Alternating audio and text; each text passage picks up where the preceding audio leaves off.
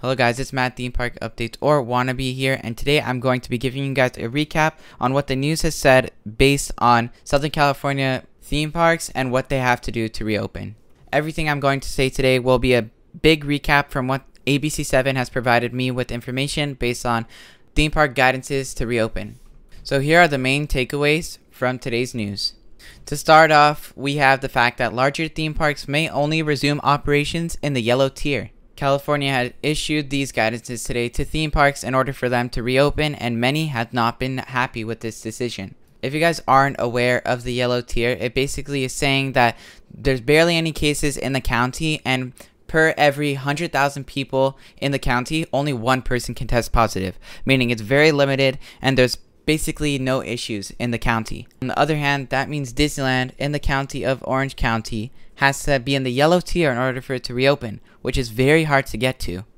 Saying they have to reopen in the yellow tier is basically saying that COVID doesn't even exist. This instantly triggered the president from the Disneyland Resort and the people that work there. Without the Disneyland Resort being open, cast members won't have jobs until they reopen.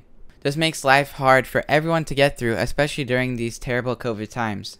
Instead of agreeing with the new guidances that the Disneyland Resort has been given, the president of the Disneyland Resort has instantly went off. Rapidly after the news of the new guidances for the theme parks to reopen, the Disneyland president has said we've proven that we can responsibly open with science-based health and safety protocols strictly enforced at our theme park properties around the world. Nevertheless, the state of California continues to ignore this fact and said mandating arbitrary guidelines that it knows are unworkable and that holds us to a standard vastly different from other reopened businesses and state-operated facilities. Obviously, the president of the Disneyland Resort is not happy with these new decisions made by the state. Along with that, the LA, Riverside, and San Bernardino, as of today, 1020, are still in the purple tier. The tier list for COVID goes as follows from worst to best. Starts at purple, then goes to red, orange, and yellow.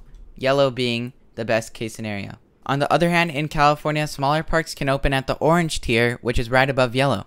No matter how big or how small the parks are, they only can open with a limited capacity of 25%.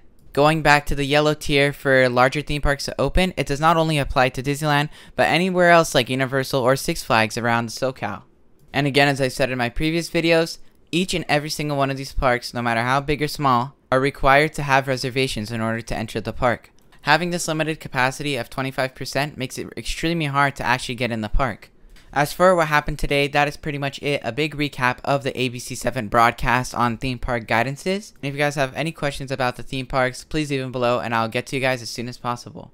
Thank you guys for tuning in today. If you guys did like this video, make sure to hit that like button. If you guys didn't, hit that dislike and subscribe and turn on post notifications so you guys can get the update as quick as possible.